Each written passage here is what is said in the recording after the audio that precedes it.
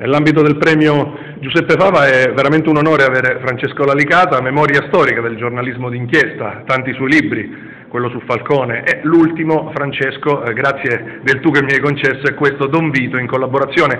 con eh, Massimo Ciancimino e anche con un altro figlio, Giovanni Ciancimino, questo ritengo nell'economia del libro sia importante. Eh, la cosa che più mi è interessata, il libro è interessantissimo, è quando hai detto, beh, ho consigliato a Massimo quando voleva scrivere questo libro che prima si va dai magistrati per questo contenuto.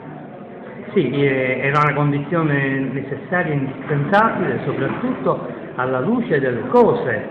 che Massimo raccontava, perché non si, non si limitava ovviamente a descrivere il rapporto con suo padre, che è già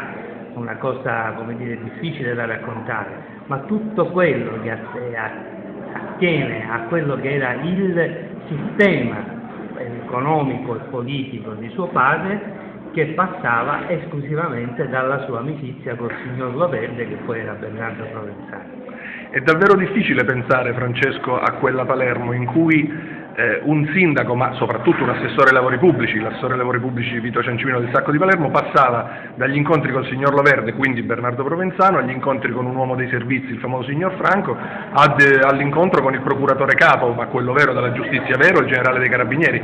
Che Palermo era? Hai detto prima, noi ci davano degli untori, siete stati i primi a scriverlo, ma era veramente il Cile, come dici tu, dove si aggiustava tutto. Sì, era un paese completamente nelle mani della mafia, la mafia invasiva che controllava i singoli movimenti, proprio i movimenti più impercettibili di tutto quello che si agitava in città, l'economia, la politica, le professioni, non c'era, non c'era primario di ospedale che non venisse come dire, nominato dopo accurate consultazioni che,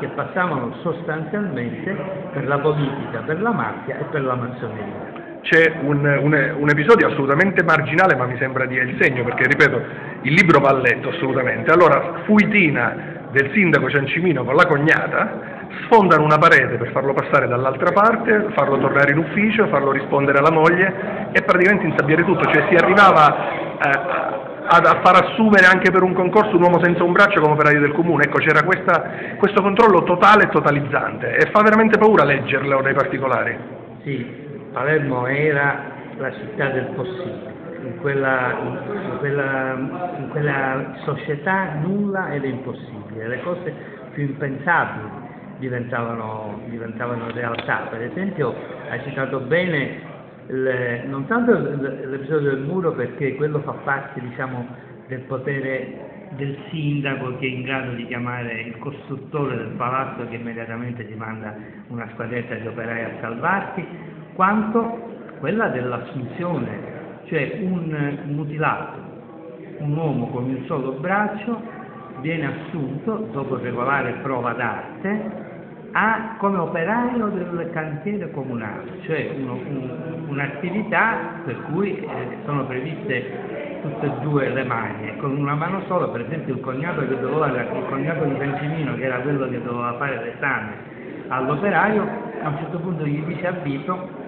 dice scusa, ma questo ha un braccio solo, come fa a mettere i pali con un braccio solo? E Vito gli risponde, e che ne so io, glielo metti tu, e, e dopo che l'hai messo lo assumi. Ultima cosa, grazie di questa disponibilità, com'è possibile secondo te che da Vito Ciancimino che riceve in pigiama Totorina a casa sua o eh, Provenzano in Piazza di Spagna o, o, anche in vacanza sulle Dolomiti, nei posti più esclusivi dei, dei latitanti lungo corso e quindi la politica primo posto del podio, oggi, a mio modesto avviso, la politica sia quasi questa medaglia di bronzo con la politica che cede il passo all'economia, medaglia d'oro, alla mafia, malavita, medaglia d'argento che si sta comprando il paese pezzo pezzo, riciclando denaro. Guarda, in breve ti posso rispondere così, eh, è cambiata la mafia ed è cambiata, è diventata più arrogante e più potente grazie anche ai soldi, grazie anche al potere economico di Poldispoli, ma a mio parere soprattutto è cambiata in peggio la qualità della politica perché eh, una volta passate via le prime file della politica con le indagini sulla corruzione al nord e sulla mafia al sud sono via via subentrate le seconde e le terze file che non sono la stessa di quelli che non ci sono. Grazie ancora. Grazie a voi.